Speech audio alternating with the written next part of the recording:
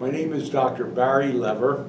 I'm holding in my left hand here how I got involved in this. It doesn't look like much, but it's an autograph book I received when I was bar mitzvah. I'm going to read you what the only things that appear in this book about uh, my bar mitzvah, but they were written and they're contemporaneous with the events. The first thing I'm going to read is the rabbi's message to me. His message was one of great importance that my bar mitzvah was. He told me how he wanted me to grow up as a good Jew and a loyal American.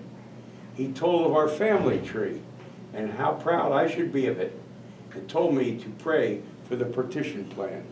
Now that afternoon, my bar mitzvah was probably about 10 o'clock in the morning, we went home and this was what my comments were in the afternoon, and I wrote them down in the book. My bar mitzvah speech was about the Jewish ship Exodus in the year November 29, 1947. We in the congregation offered a special prayer for the partition of Palestine. At 4 o'clock, the United Nations organization took a vote at Lake Success, and at 4.15, the plan went through.